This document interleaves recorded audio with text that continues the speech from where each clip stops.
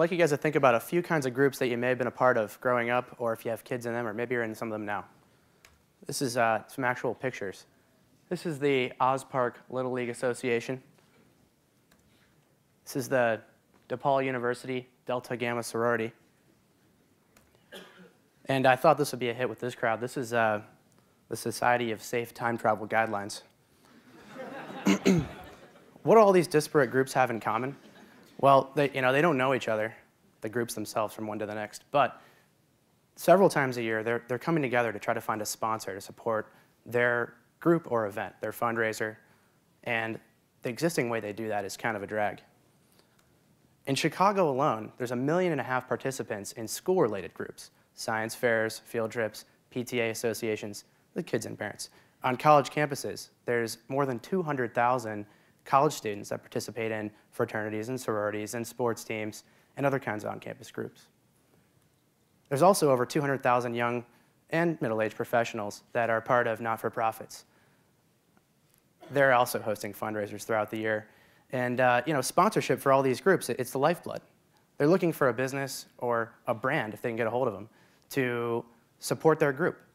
Sometimes they need fundraising donations, sometimes they need custom t-shirts.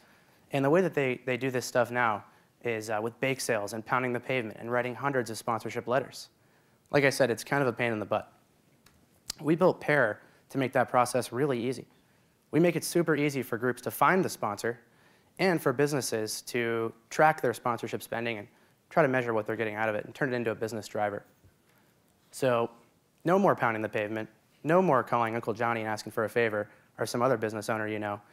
We've, we've done the hard part for you. And uh, you know, on our site already, uh, we, we just launched a couple months ago, there are uh, over 25 sponsors, some brands and businesses uh, ranging from Verizon Wireless and Chips Ahoy to local, local businesses like uh, Union Sushi and uh, Massage Envy Spa that are providing over $100,000 of sponsorship support in one form or another for all kinds of local groups. They're really already there. So how does it work? Well, basically, we've designed it to, to be really easy to use. There's really no catch, so just to, to preempt the question, you're really just one click away from seeing all kinds of sponsorships that are available for your group right now so whether you're looking for, oh, look, here's EA Sports. If you're a youth sports team, EA Sports is offering up to $500 towards custom apparel, t-shirts or uniforms for your league. And the cool part about Pear sponsorships, because we're going to ask you to rally your friends and your fellow group members to go online and kind of earn points toward the sponsorship, really make it a trackable win-win for your sponsorship partner. There's something in it for every participant too. In this case, it's uh, $20 off any copy, uh, copy of any EA game, including Madden. So let's say we're a sports team. We're going to pick EA Sports and uh, rally our group members. We'll have 10 days to earn as many points as we can. We can end it early if we want. When it's over, we just download this little certificate, and there's redemption instructions, depending on what kind of award it is, what kind of sponsorship support, for how to get your free t-shirts, how to get your fundraising donation. You just follow those instructions, and the stuff comes your way. It's like really that easy. So back to these guys. I mean, how cool is it that the Oz Park Little League can get sponsored by EA Games or Verizon Wireless or a local business that they're going to go to after the game and say thanks. And that business can actually understand what they're getting for it. So, uh, you know, I actually I just have to say in closing, I, I knew this was going to happen. After we did rehearsal earlier, I tried to go in the zone and not think about anything because I liked how, how it came out. And I knew Jason was going to come in here and just, you know, like say something that was going to make me rethink and totally want to re-explain this in a whole different way.